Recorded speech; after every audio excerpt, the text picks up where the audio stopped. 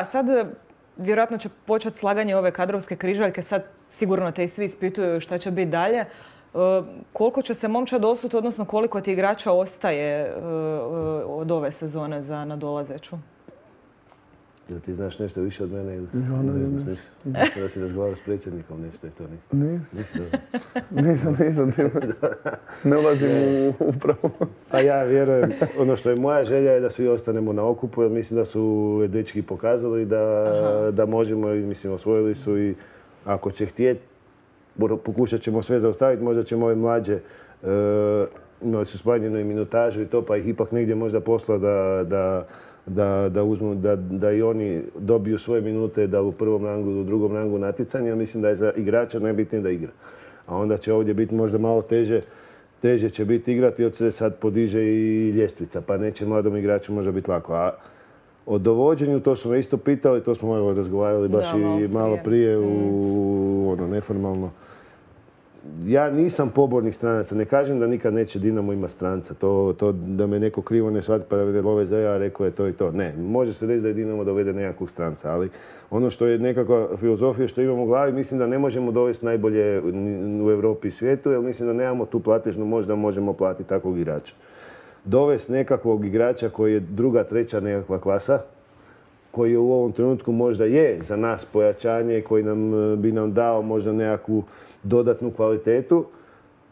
Ja se rađe okrećem našim mlađim igračima, 18, 19, 20, 21 i pokušam razvijati njih. Jer mislim da ti igrači, ko što su primjer nekakva Piplica, e, Mužar, e, Filip Novak, pa čak i Toni Vučković, pa smo, evo, nije ni Konso prestar, to su igrači koji možda nisu afirmirani, sigurno da nemaju nekako još igračko iskustvo nekakvog igranja Europe i to, mada Muđar sad već dosta dobro igra i u reprezentaciji, skuplja minute, ali oni mogu, ako se dalje s njima radi, postati možda najbolji u Europi i na svijetu.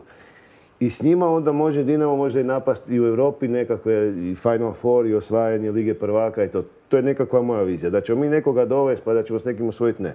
Onda s druge strane dovesti nekakvog mladog, da Brazilca, Finca, Argentinca ili nekog koji ima kvalitetu, pa zašto bi radio sa njima kad to isto mogu raditi sa hrvatskim igračima?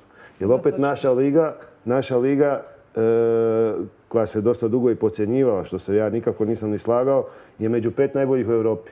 Imamo dva predstavnika u Ligi prvaka što imaju još Španjolska, Kazahstan i Portugal. Nema Rusa, pa smo mi došli na to mjesto.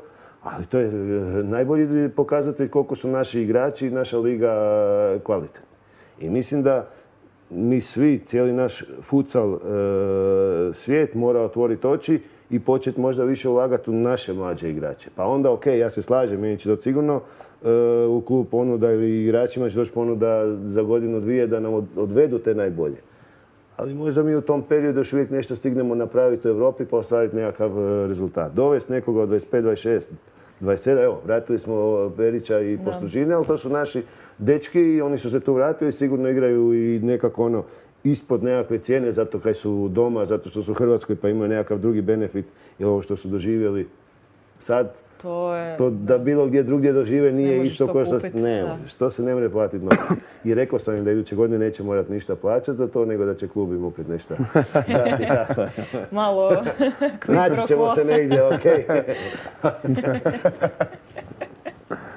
Ali u svakom slučaju dobru filozofiju imaš jer što smo pričali prije toga ti strancem dobiješ taj neki instant rezultat, ali poslije gdje su ti ti igrači mladi koji bi trebao razvijati? Ti ovako imaš neki svoj proizvod, ili da tako kažem, odnosno igrača kojeg si razvio i s kojim si na kraju onda osvojio za nekoliko, nakon nekoliko godina da si osvojio, jel?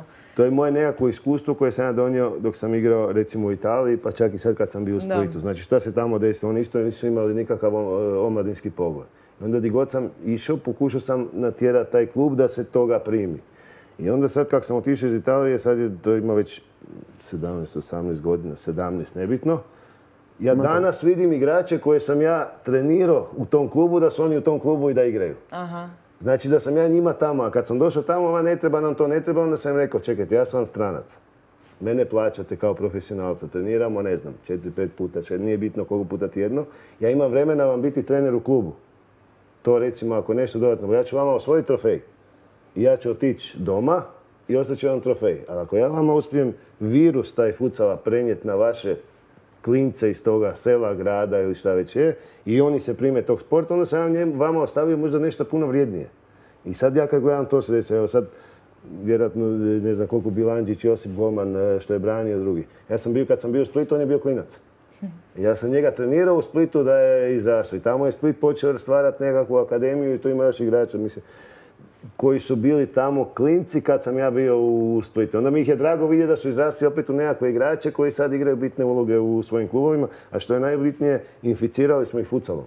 Znači oni da nisi, da nisi krenuli ko klinci, vjerojatno bi se bavili nekim drugim sportom i ne bi ništa napravili od futsala. Tako da, ne govorim ja sad nešto, ovo, nego je to iz mog iskustva. Ja znam da svako od nas koji je krenuo ili košarka ili rukomet ili nešto, sjećaš se uvijek o mladi di si krenuo i šta, koji ti je prvi sport, prvi klub, prvi da, dres da, nekakav da. i tako. Ne. E takve emocije treba dati onda djeci. Zato mislim da je to ovo, recimo ispravno. Ne.